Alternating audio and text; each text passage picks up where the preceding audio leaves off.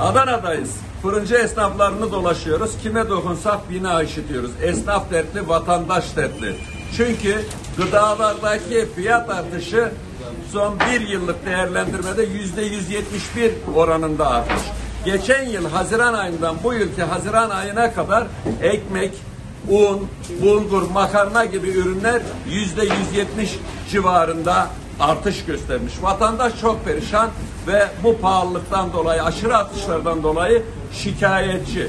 Özellikle geçen yıl ekmeğin ham maddesi olan buğdayı çiftçinin elinden 2 kilosunu 2.250'ye alanlar bunun karşılığındaki tüm girdilere yüzde 350 civarında zam yaptılar. Ekmek bugün 5 liraya geldi. Fırıncı esnafı perişan, üretmek zorunda, üretemiyor. Vatandaş pahalıya tüketemiyor. Vatandaş bayat ekmeği bekliyor akşamlara almak için. Bu gidişle ekmeğin fiyatının 5 liraların üstüne belki de 7 liralara 8 liralara çıkacağı görünüyor. İş başındaki AKP iktidarına seslenelim.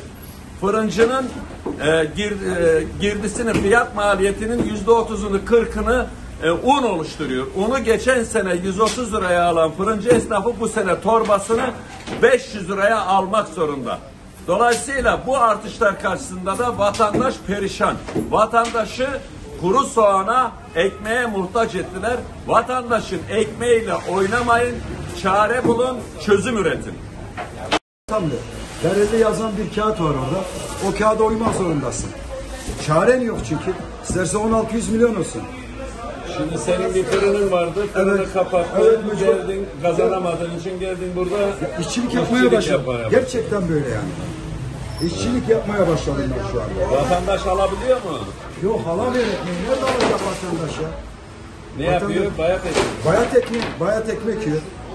Evde ekmek yapmaya başladılar, sadece ekmeği yapmaya başladılar. Ya yapacak bir şey Bayat yok. ekmeği kaçtan satıyorsunuz? Bayat ekmeği bir buçuktan veriyorlar. Taze, Millet- tazesi 3 lira mı? Tazesi 3 lira. O, o artış bekliyor musunuz? Hak Köylüler artış bekliyoruz. Tabii ki artış bekliyoruz.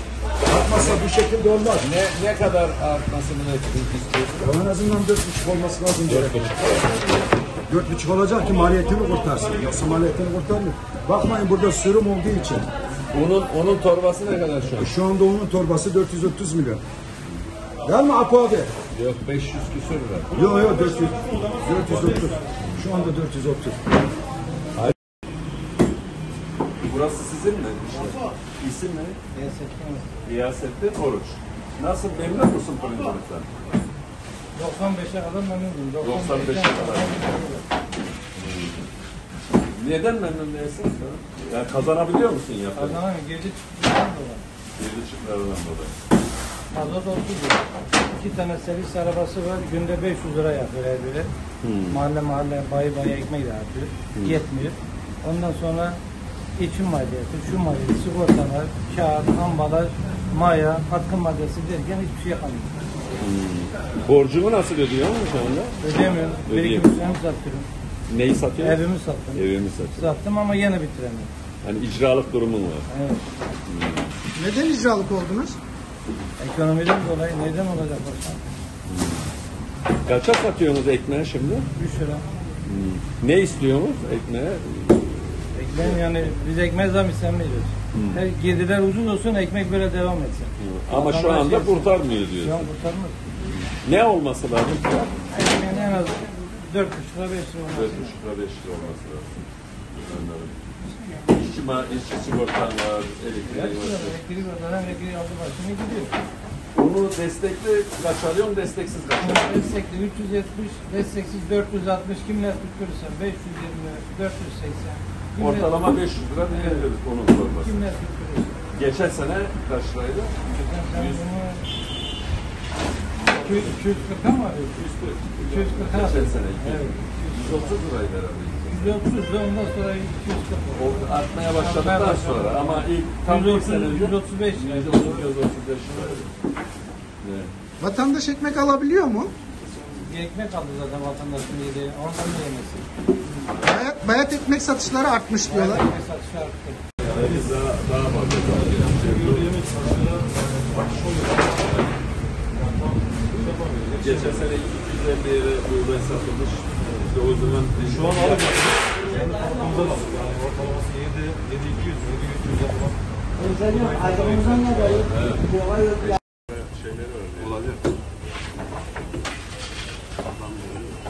tanesi. Neden bu? Bunun maliyet, maliyet sürekli artıyor. Hayır sürekli.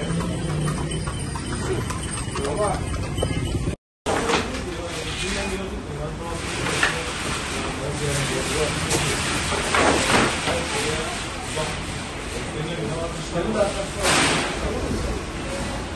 Tamam. Bana ne yerli? Ben yerli. Yok yani.